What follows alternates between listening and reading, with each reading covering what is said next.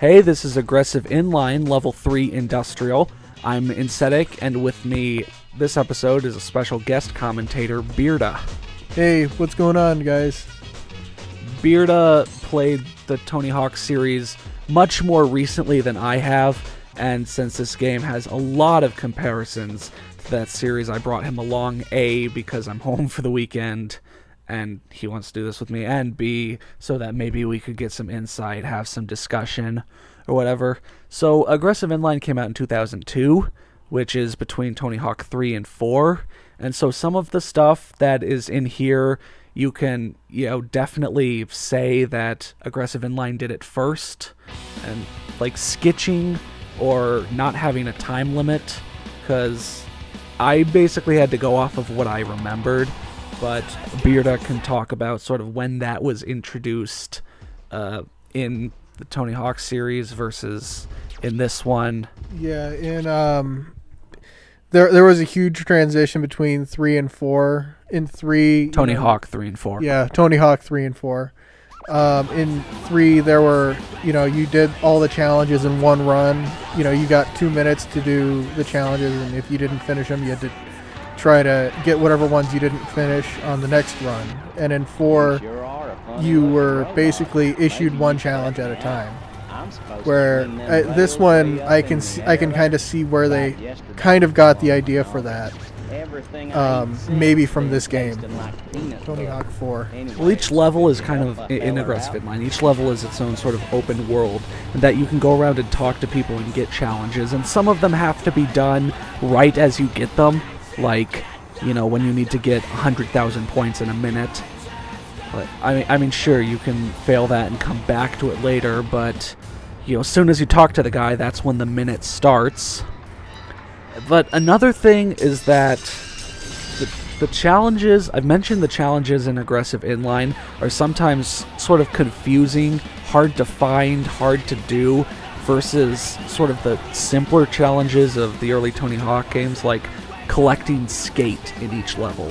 That that is sort of the iconic Tony Hawk challenge. You know, find the floating letter letters, and that's sort of sort of a simplistic, and I don't really want to say like beauty in it, but you could see the letters, and you could see how to get to them, and you have to like execute it, which is the tough part, rather than figuring out what to do.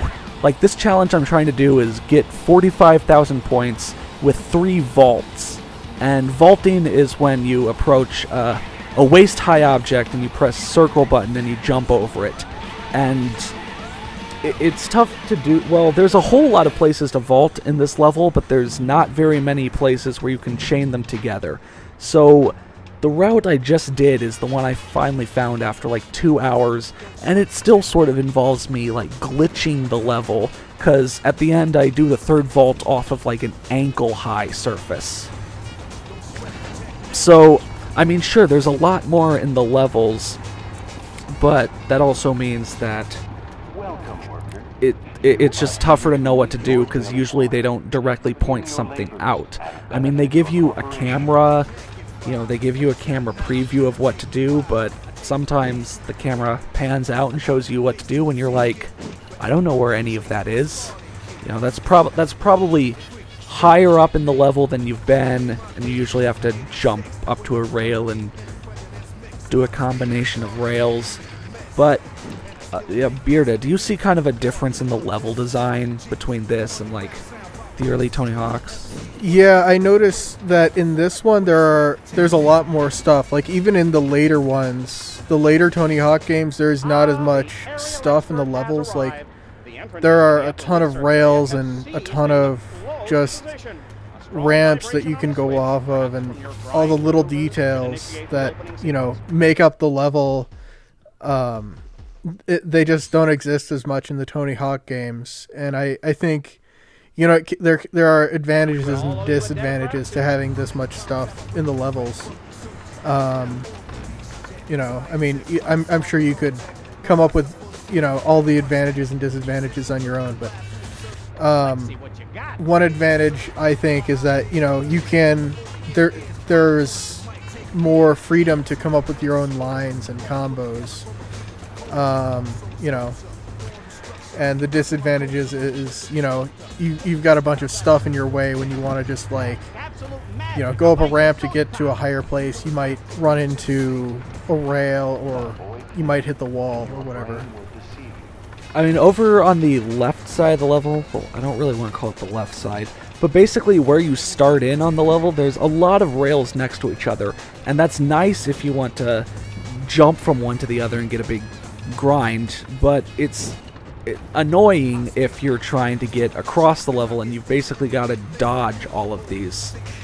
And even in the later Tony Hawks, like I played through Underground 2, and Bearda, you played through Proving Ground, I think. Is that correct? Uh, I played. I played up through Project 8. All right. Um, I, I don't know. When did Proving Ground come out? Uh, I think that was after. I, I, I don't really remember, but yeah, I remember even when they opened up the levels, they still had really obvious lines, like jump from here to here, or this would be good.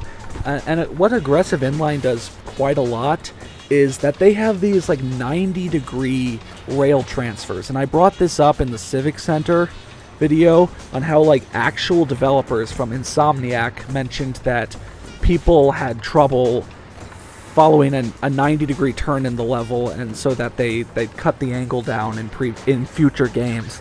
But you saw there to flip the switch you have to do like a mandatory jump from one rail to one that's going completely parallel.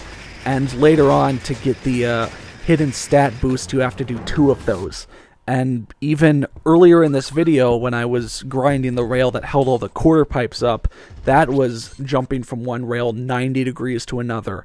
And if, if you get it, then it's going to work because 2002 game physics. But I, don't, I feel like it requires an extra amount of like figuring things out that might be uh, that might not be obvious for people who haven't played weeks and weeks of extreme sports games. So that that's just one of the the big things I notice across aggressive inline. Now this level is just not very good. It is really cluttered and it has quite a bit of problems, especially with this goal grinding the robot arms because these arms on the car assembly line keep changing their position and maybe they have a pattern, but that's after like 10 or 12 different things they do. And yeah, often they arrange themselves so that one uh, arm goes to the next arm, so you can grind two of them in a row, which is nice.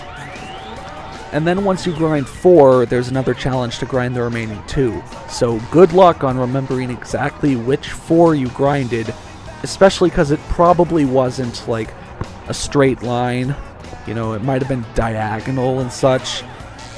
And good luck waiting around if you choose to do this, if you choose to wait it out, hoping that your juice meter doesn't run down to zero.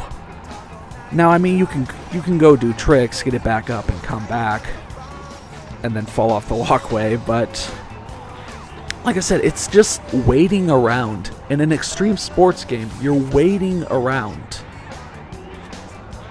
I, I don't I don't think those two should be in a sentence together. And I'm, I'm just I, I know I sound a little more a little more infuriated than in the previous videos.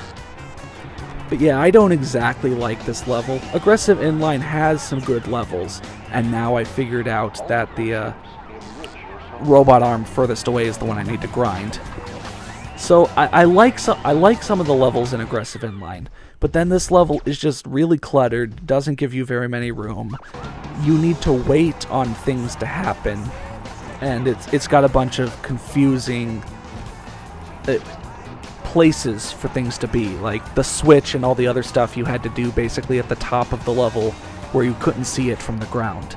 However, one thing that's nice is it does have this entire outdoor junkyard that you probably might not have noticed. Like, how many times did I go by that door trying to grind the robot arms and it didn't open up because I wasn't right next to it?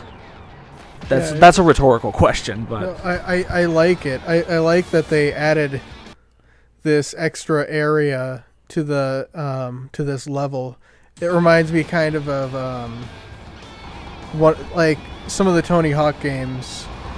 Um, like I think it was in two, uh, where there's, I think it's the first level in Hangar where you have the, um, you have the main area and then there you, there's a separate area, but then there's also an underground two, I believe, where you you're playing in the first level of the first game, but then they added on a second area.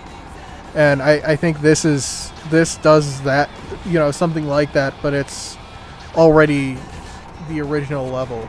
So Yeah, I remember what you're talking about for Hangar. Uh, you're talking about like at the back of it, once you do something, it opens up, and that's the area with the secret tape. I remember that. Uh, Hangar fun times.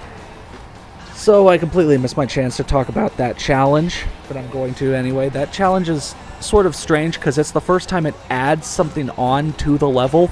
Like once you start that challenge for the uh, computer, it adds like this entire park editor area to the middle of the junkyard with a whole bunch of ramps and a whole bunch of rails that are, I think, intentionally cluttering it up. And what you can do is you can you start like operating a crane and you can move level pieces and destroy them. But if you do so, it adds to the amount of points you have to get. And so that's unique. That's different. That's nice.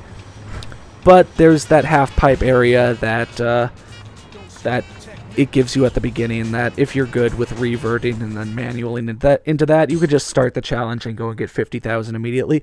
I mean, it's nice that it's not too tough to do. It's nice that it's not like really frustrating. And it is nice that it's something different than anything before. And then me getting the uh, special bonus stat was something I had to go record and add in later, showing off that yeah, there's a whole bunch of grind jumps that are that aren't like something right in front of you. So that's been aggressive inline level 3 industrial. Kind of a short level so far. Again, haven't unlocked the back half of it. Maybe the back half will be better than the front half, but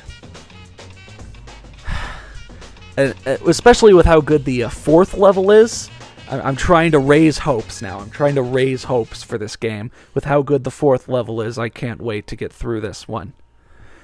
And so that's been Insetik and Bearda, who I've not probably not given his fair share of talking, but it, it was good doing this with you.